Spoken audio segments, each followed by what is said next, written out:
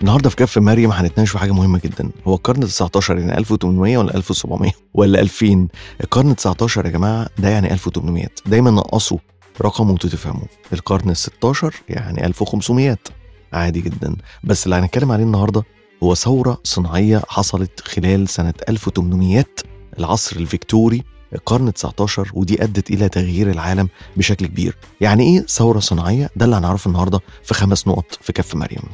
أول حاجة لازم نعرفها إن الثورة الصناعية هي انقلاب جذري جدري كامل في القطاع الكامل بتاع الصناعات والحرف والزراعة. يعني كنا بنزرع نطلع الزرع نلمه نحطه نبيعه. ده نمط ولكن أصبح فيه النهاردة آلة.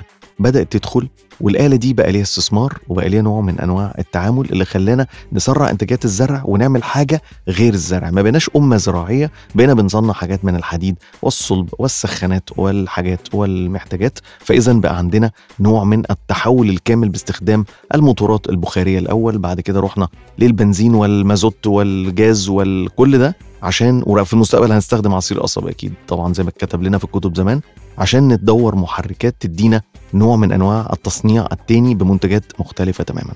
رقم اتنين الموتور المحرك. في ثمانينيات القرن ال 18 في مخترع اسمه جيمس وات وطبعا عشان كده بيقول البتاع ده كام كيلو وات؟ الراجل ده اسمه وات أصلا. طور محرك بخاري وده أدى إلى بداية اشتعال الثورة الصناعية. الإنتاج وتراكم رأس المال بدأ يشتغل وعمل مصانع وخطوط إنتاج واشتغلوا على القطارات. والقطارات دي أهم حاجة حصلت إنها بدأت تنقل الغلة بشكل أسرع وتروح لأماكن بعيدة جدا جدا فقدرت أبيع بدل ما أبيع في غيط التفاح ده أبيعه للناس اللي جنبي ببيعه إلى قارة تانية خالص. فطبعا قد إيه حصل إنتاجيات مرعبة عشان تخلي العالم يروح في منطقة تانية خالص. الحديد كمان حل مكان الخشب. وبدأت الدنيا تروح لمنطقة من البنايات المختلفة تماما. يلا نطلع حاجة عظيمة لأن إحنا بقى عندنا مكن بيتني الحديد. فاذا يلا نعمل ناطحات سحاب. فاذا كله جري بشكل مختلف لما بدأت الثورة الصناعية تقوم. رقم ثلاثة الكهرباء. الاختراع ده يا جماعة أصلا موجود. الكهرباء دي موجودة في السمك على فكرة اللي بيكهرب. بس إزاي نقدر نطوعها ونحطها جوه أسلاك ونعمل بيها قطر كهربي أو نعمل بيها حاجة تنور لنا عشان نسهر بالليل عشان الليل ينقلب نهار؟ ونقدر نشتغل أكتر. برضو يا جماعة من القرن ال 18 اللي هو 1700 للقرن ال 19 1800 بدأت الكهرباء تكبر لغاية ما وصلت لمرحلة من أشباه الموصلات وعملنا بوردة كمبيوتر و كل ده بدأ من اللقطة بتاعت إن إحنا طوعنا الكهرباء ودخلناها جوه السيستم بتاع العمل. رقم خمسة مين أهم حد استفاد من المنطقة بتاعة الثورة الصناعية. ويل ديورند في كتابه الشهير قصة الحضارة قال إنه الثورة الصناعية أهم حاجة حصلت فيها هي إن إنجلترا استفادت ولمت الغلة كلها. ليه؟ لأنه كل الاختراعات دي تمت في إنجلترا تقريبا. بدأت كده تقوم الدنيا فطبعا خدوا وش القفص زي ما بيقولوا عشان يطلعوا أفضل ما عندهم في الاختراعات. واللي بيملك العلم عكس ما الناس متخيلة تماما اللي بيملك العلم هو اللي بيملك قيادة الشعوب.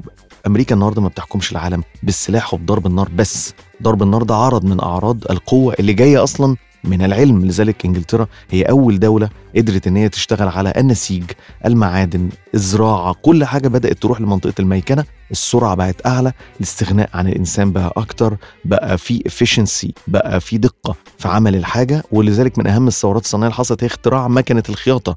ده كان شيء مبهر بالنسبة للملوك إن هو يبقى فيه مكنة بتعمل لنا textiles وتدينا الهدوم بدون ما نتعب ونقعد شهور مستنيينها وكذلك الطباعة لما دخلت النهارده برضو في الإطار ده اصبح النهارده مطبعة جوتنبرج دي أو أول مطابع بدأت تظهر في العالم سرعت إنتاج الكتب فالعلوم انتشرت بسرعة فالبشرية جريت بخط رأسي سريع جدا جدا عن الطبيعة اللي كانت ماشية بيه.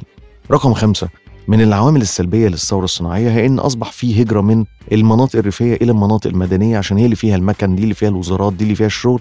فطبعا حصل هجرة الهجرة دي جردت بعض الأراضي بوظت الدنيا علت الأسعار في المدن بشكل كبير وحصل خلل اجتماعي. خلاف إن طبعا برضه بيحصل أزمة لما النهارده حد يفقد شغله.